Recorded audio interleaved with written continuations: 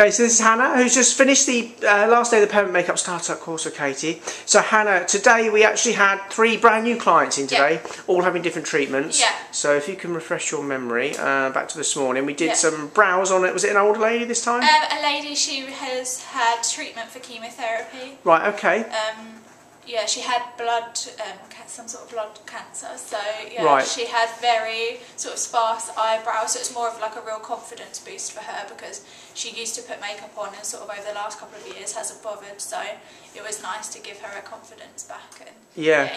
I think she sent a message before she came actually, just saying how happy Yeah. she was to get a slot and Yes, everything. I think she'll want all of it done Yeah. now. But yeah, I think she'll definitely be back for more. So that's Excellent. And then we had a brand new client in, a Spanish lady, I think, come in and had her eyeliner doing in the this afternoon. So how was that? so just top eyeliner and she wanted it wedged more at the outside. Yeah. So that was really nice. Um, very sort of a natural looking lady. So yeah, we tried to sort of incorporate that into her look. So Brilliant. And then we finished off again with another lady um, Yeah. this afternoon, another lady we've never seen before, Yeah. uh, another set of brows. yeah, so she had been somewhere else and had some um, permanent makeup before. It started to fade a bit, so and she wasn't that happy with it. So we sort of corrected the colour. Yeah.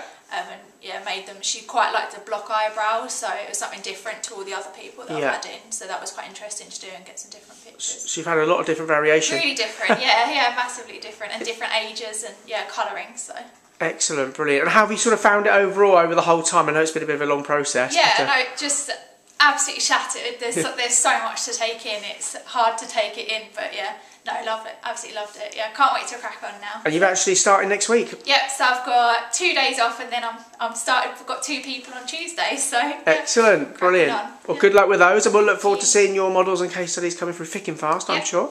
Yeah. And we'll catch up with you very shortly. Thank you very much. Cheers, Hannah. Bye.